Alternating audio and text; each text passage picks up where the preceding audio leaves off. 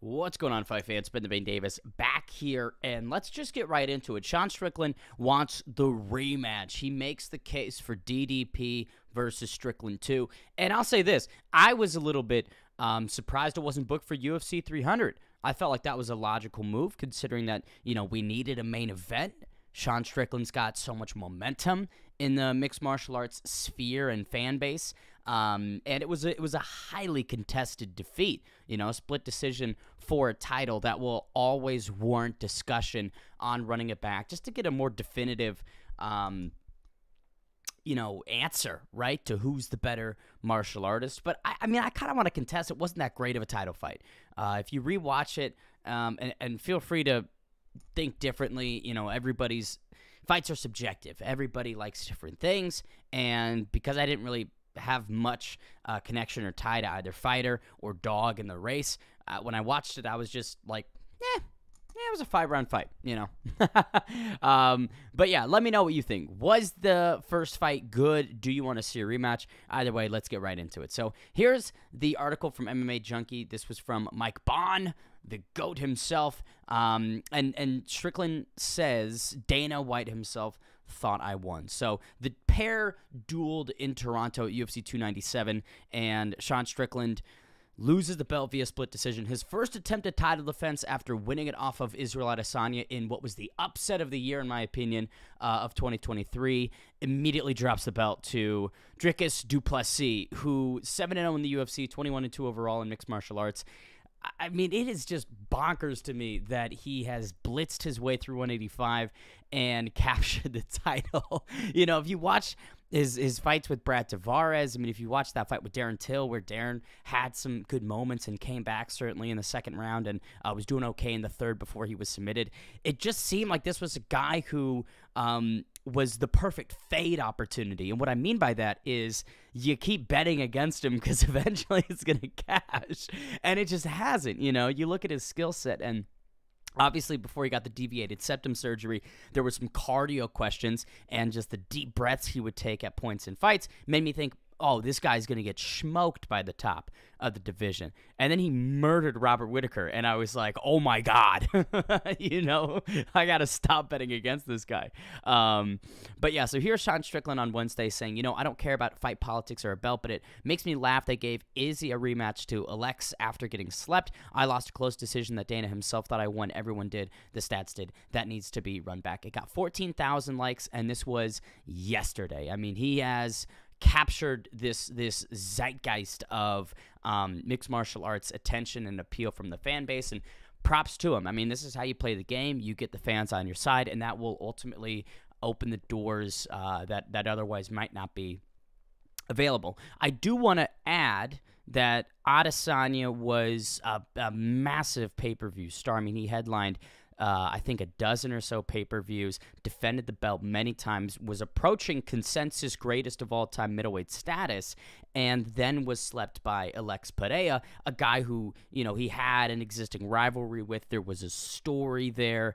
Um, so there, there were a lot of reasons why Israel Adesanya got the rematch, not just uh, what Sean Strickland is reducing it to. Um, but in his credit, you know, I lost a close decision that Dana himself that I won. Everyone did. The stats did. So let's take it to the stats and see if it's supported. And when you look through it, Sean Strickland outstrikes him in round number one, 34 to 18.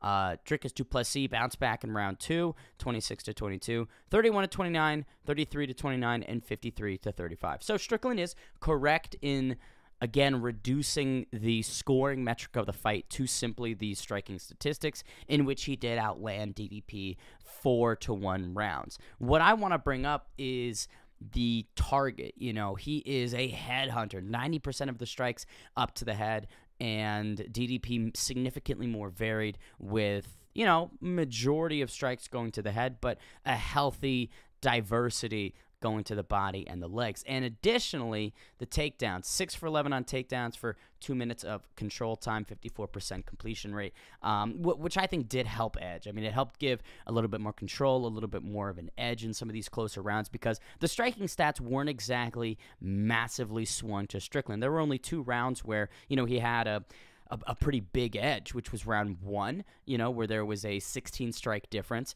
and round number five, in which there was nearly a 20 strike differential, you know, for for in favor of Strickland. Excuse me. So, you know, I I see what Sean's saying in the warping and twisting that he does, um, but I'm not sure if you know, it, it, it's as simple as Sean Strickland makes it seem. Um, but yeah, you know, D- Du fight tied 2 2 going into the fifth, and then he scored that fifth round for Strickland, and that's a completely fair scorecard. Like, I'm not, I'm not saying that, um, you know, Sean Strickland lost that fight uh, without debate, and Dricus Du Plessis won it without debate. It certainly is a fight where you could watch it and come away with um, different scoring, right? You could see Derek Cleary, Eric Colon, and Sal D'Amato, 48 47, um, two for DDP, one for Sean Strickland. So I'm not going to sit here and go, oh, it was, you know, clearly for this person. It's a little bit of a debate. It was a very close fight and one that I would like to see run back. Uh, let's take it to the middleweight rankings, though, just to see. So, obviously, the champ, Dricus Du Plessis, number one, Sean Strickland. Number two, Israel Adesanya. Three, Robert Whitaker. Four, Jared Cannonier. Five, Marvin Vettori. Marvin Vettori and Brendan Allen are squaring off soon, so boom off the table. Uh, Robert Whitaker just defeated Paulo Costa, so I'm, I'm imagining that there's going to be a little bit of a recovery time. Um, before he hops back in there. And then I think the fight that makes a lot of sense for Robert Whitaker um, could be either Sean Strickland or Jared Cannonier. Jared Cannonier is on a bit of a tear right now. Um, you know, props to him. I think he's won his last three or four fights. Excuse me, his last two fights. So beat Sean Strickland and then just poured it on Marvin Vettori. Made Marvin Vettori look like a literal meatball. Um, so he's got some steam, and I'd like to see you know him get another crack maybe at Robert Whitaker, even though that fight wasn't exactly close. It's just limited options, right? It's such a narrow top of 185 with some of these guys having already fought once, sometimes twice. I mean, Adesanya fought Whitaker. Um, I believe two occasions fought Jared Cannonier, uh, Marvin Vettori on two occasions, uh, a, a, rematch with Sean, Sean Strickland if they run that one back. Uh, so I don't know. I mean, I think that what would be interesting is God, it's it's gonna be a rematch either way you cut the cake for Adesanya. If you do Adesanya Whitaker again, which would be fun, I think their second fight was a lot closer. Um, I think I think some people scored it for Whitaker. You know, uh, so Adesanya Whitaker three, Adesanya Cannonier two, uh, Strickland Whitaker. I, I think is interesting, or you just run the rematch straight as is, right? DDP versus Strickland again, which I think could do pretty well pay per view wise. I mean, Sean Strickland is announcing himself as this star. He is kind of gripping the tails of the UFC demographic in a lot of different ways, politically, culturally, and and tying them around himself and making this cape of, you know, of of non PC, of uh, you know, non woke and that's worked for him. You know, again, it's it's all about how you play the game. So I don't know. I mean, I I the UFC attempted to put Du Plessis against Adesanya for the UFC 300 main event in April. So clearly, the UFC's headspace and thinking maybe isn't on the rematch, right? DDP and um, Sean Strickland too isn't what the UFC is thinking. And again, Adesanya is a pay per view star as well. So I think there's a lot of interesting ways to cut the cake at 185, but um, I just think it's a little bit more complex than Sean Strickland reducing it in this manner. Uh, let's let's actually head to Twitter here and see what some of uh, the responses were. yeah, Brian, because of what you said at the press conference, Sean, they wanted you uh, out of being champ in a close fight. I knew they would rob you. Sean Strickland, facts. Um, let's see. The UFC alien. Amanda, I want to pull this card, but when does the champ ever lose a close fight? When you're in Canada with a bunch of dirty leftists. Um, I mean, again, you know, this is it's it's classic Sean Strickland right now, where he's really leaning into kind of the political side of things, and it, you can see there's a whole audience and fan base, especially with how the UFC's kind of maneuvered and positioned themselves that will side with Sean in those conversations uh, whenever he uses those buzzwords and those hot hot topics. Um, you know, he's going to get a huge audience on his side. Um, I do think it is interesting that you know he doesn't. It you know Sean Strickland doesn't really talk about the fact that you know he did lose to Jared Cannonier, and again that was a um, split decision, a very close fight as well. If we go to the striking stats, um, I mean 16 13, 25 28, 33 35, 27 33, 40 43. I mean, that is like a difference of three to six strikes per round. That's bananas how close of a fight this was. And I know it maybe wasn't as interesting as some other fights. In my mind, it almost would make sense to run this back a little bit more than the um, title fight, right? Because